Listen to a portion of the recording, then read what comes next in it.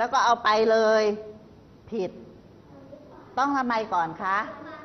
อะ น้องปาดสิคะะเวลาปาดปาดแบบนี้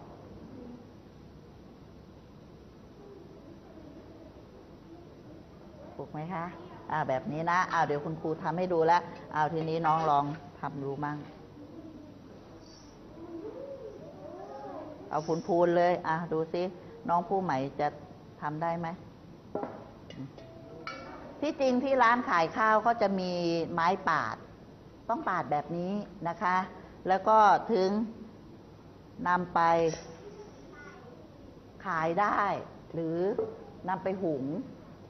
อย่าทำแบบพูนๆนะคะ อย่าทำแบบพูนๆถ้าใครบอกว่า ถ้าข้อสอบออกมาบอกว่าอ่าตวงข้าวสารแบบพูนถูกหรือผิด ต้องบอกว่าผิดนะคะ เอาละ ใครอยากออกมาตวงอีกอ่าน้องลองมาตวงสิคะอ่าคุณครูจะให้น้องเขาลองมาตวงอีกครั้งหนึ่งนะคะ จริง ๆ แล้วอยากให้นักเรียนปลายทางมามาตวงด้วยแหละเอาใครอยากมาตอนนี้นั่งรถมาเลยนะคะ คุณครูรออยู่เอาหรอกปาด โอเคไหมโอเคไหมคะ โอเคนะ อะ เรียบร้อยหนึ่งอย่าง ยกไว้ตรงนี้ ต่อไป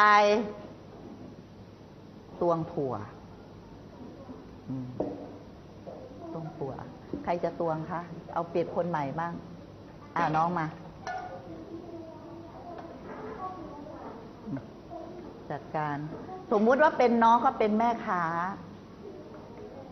แม่ค้าคนสวยคะ คุณครูจิมมี่อยากได้ถั่วหนึ่งลิตรค่ะ แม่ค้าตวงสิคะ แม่ค้าก็ยิ้มหวานหวานอยู่นั่นแหละ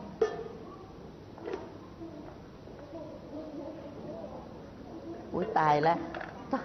ดิฉันต้องช่วยไหมคะเนี่ย ลูกค้าต้องช่วยเหรอคะ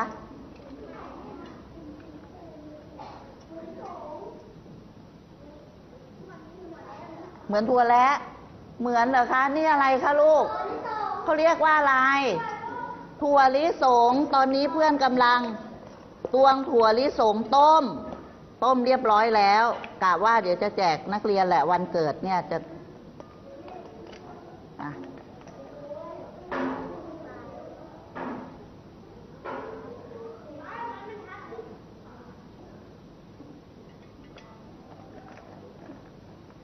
ผิด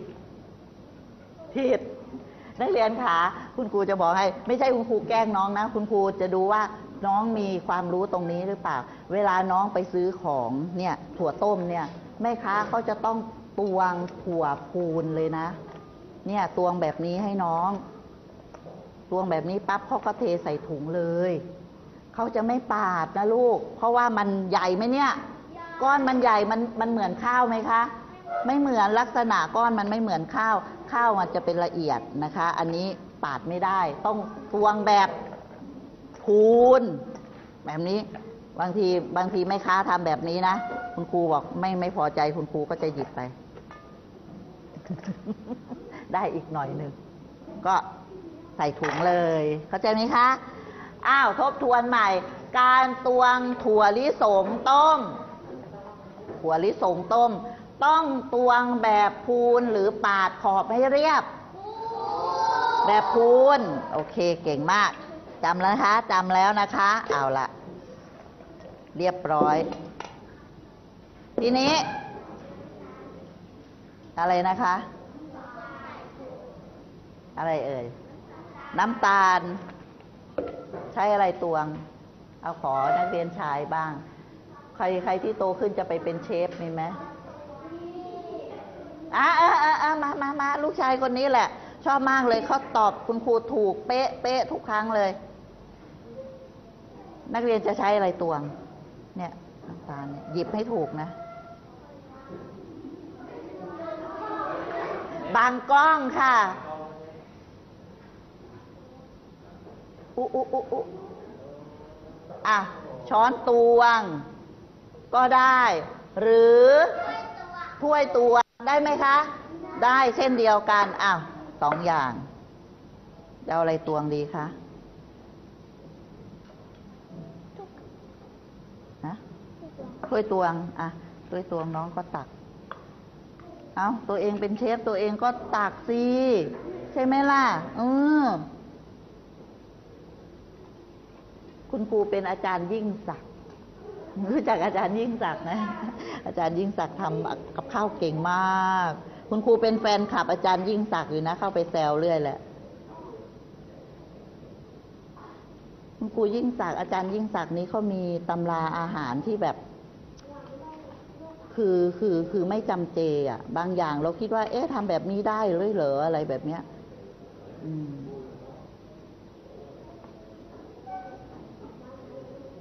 เอาเอา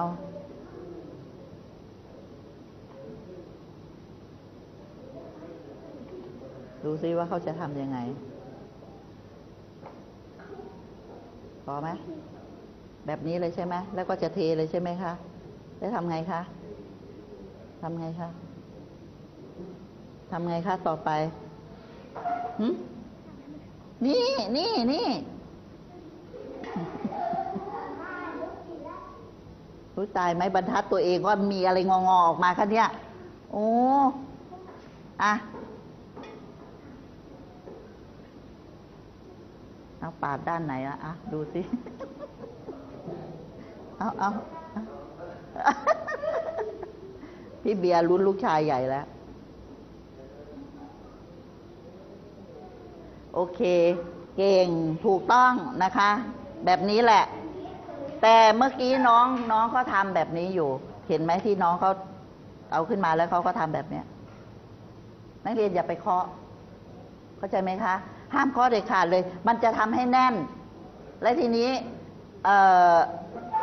มันมันมันจะยังไงอะ จริงๆแล้ว เวลาการตวงแบบนี้เขาห้ามเคาะ พอตวงเสร็จแล้วก็ปาดเลยนะคะ เดี๋ยวมันจะหวานเกินไป เพราะปกติคุณครูก็เป็นคนหวานอยู่แล้วไงคะอ้าวพอหรือยัง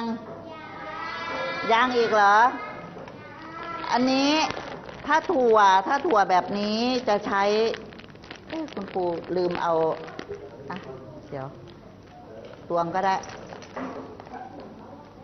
เดี๋ยวเดี๋ยวเดี๋ยวคุณครูขอแป๊บหนึ่งนะคะ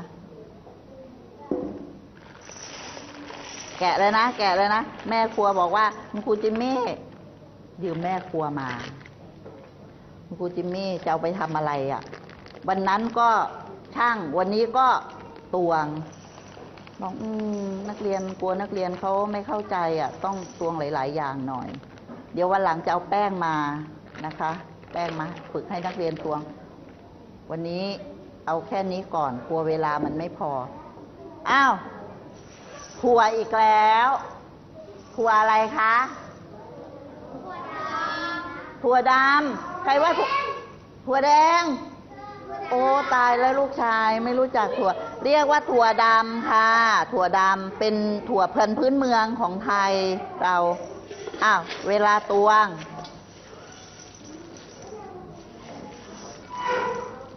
ให้ให้ทาย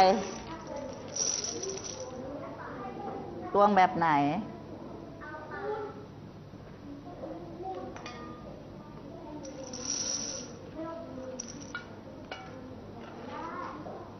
เพราะว่ามันลักษณะต่างจากต่างจากอันนี้ไหมต่างกันไหมคะ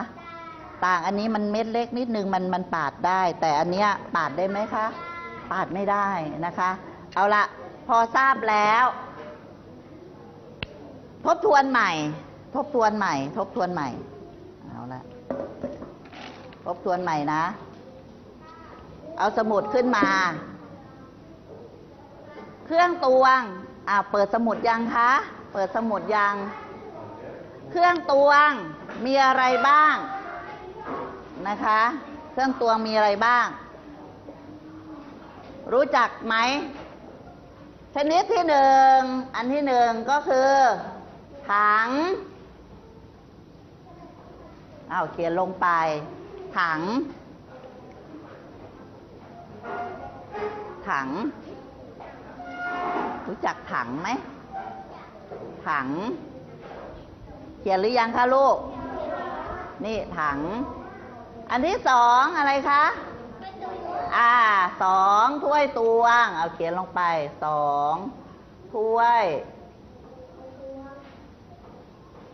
ตวงตออวงอตวง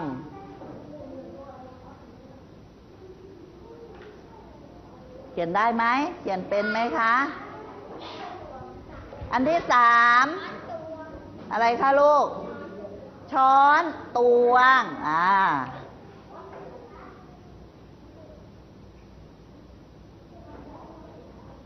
ช้อนตวง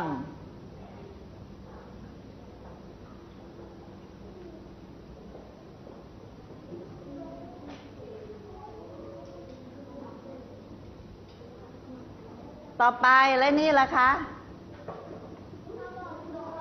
กระบอกตวงเขียนลงไป